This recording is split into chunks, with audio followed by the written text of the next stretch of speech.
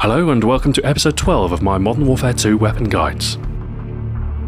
This is Xbox Ahoy, and in this video I'm going to be talking about the second available shotgun, the AA-12. The AA-12 is unlocked at level 18. It is fully automatic, the only such shotgun in the game. The AA-12, or the Auto Assault 12, was originally developed in 1972 by Maxwell Atchisson in the United States. The version in-game is a modern revision to Atchisson's original design, as produced in 2005 by Military Police Systems Incorporated. The AA-12, like all the other shotguns, fires the common 12-gauge cartridge. Based on the number of pellets per shot fired, it's likely to be double-aught buckshot. The iron sights are somewhat bulky, but given the limited range of the AA-12, you are unlikely to have any problems aiming. As is typical for the shotguns, the AA-12 is deadly up close, capable of killing in one shot at point-blank ranges. As the AA-12 is fully automatic, the range and damage inflicted is somewhat less than the slower firing SPAS 12, but two or three shots is normally enough to kill anyone within effective range. The reduced range means you will have to get closer to your enemy to kill them, but there's little that can stop you once you're in range. The automatic fire means the first shot isn't as critical as it is with the SPAS, as if you just hold down the trigger you can unleash a further 7 shots in just a couple of seconds. The AA-12 has a relatively small magazine however, just 8 rounds, so if you waste all of them you will be vulnerable until you reload.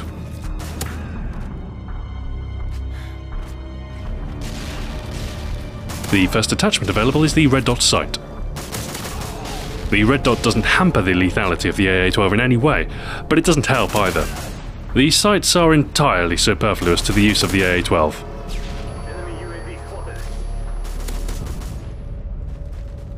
You can also attach a silencer to the AA-12, which reduces your effective range to about half of the normal distance. More often than not, you'll find your shots harmlessly dissipate in front of your opponents before they have the chance to connect. The silencer is not recommended.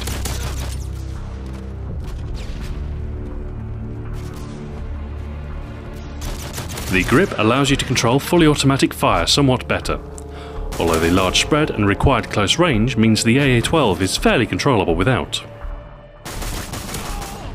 Interestingly, the grip also seems to improve weapon swap time slightly, which might come in useful. In the absence of any better attachments unlocked before the grip, I'd recommend you use this over the sights or silencer.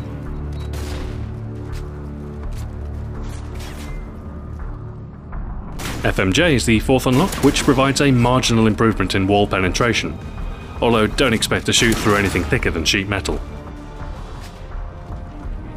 It can be effective when coupled with sitrep in order to shoot claymores through a wall, but you're usually better off with stun grenades to disable them instead.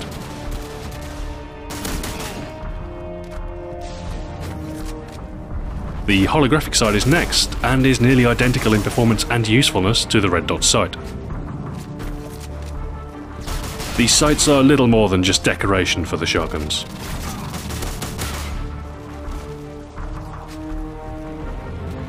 Finally, at 400 kills with the AA-12 you gain access to the last and arguably most useful attachment, extended magazines. Instead of 8 rounds, barely enough to tackle 2 enemies, you get a generous 16 great against clusters of enemies, and capable of clearing entire rooms if you are undetected and take the initiative. Of all the attachments available, I'd recommend extended mags where available.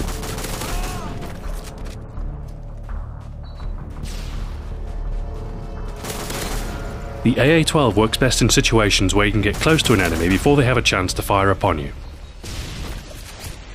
Stopping power isn't essential with this weapon, as if you're in range, holding down the trigger will unleash a deadly hail of buckshot.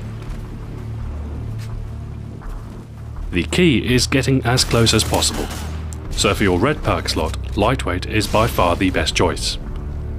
Couple the AA-12 with an SMG for maximum mobility.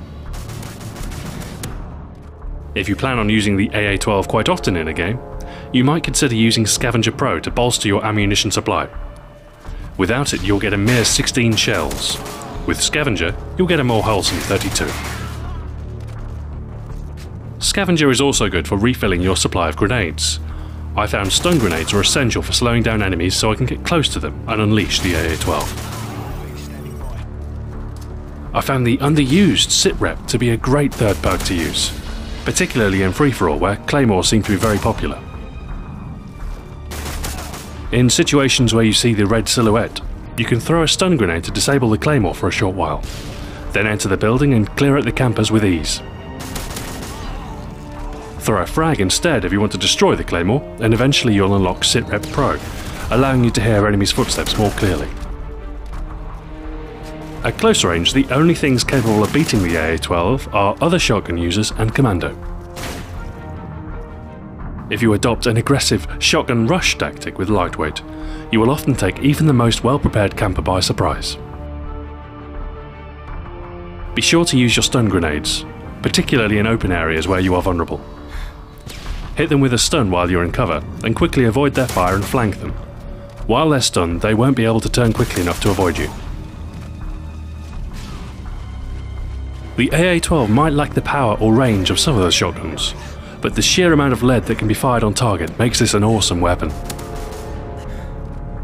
Once you learn the art of getting close to your enemies, and using stuns and cover to turn situations around to your favour, you will be very effective in close quarters. With extended mags and an aggressive style of play, the enemy team won't stand a chance. Thanks for watching, this has been Xbox Ahoy. Join me next time when I'll be taking a look at the second SMG, the UMP 45. Farewell for now.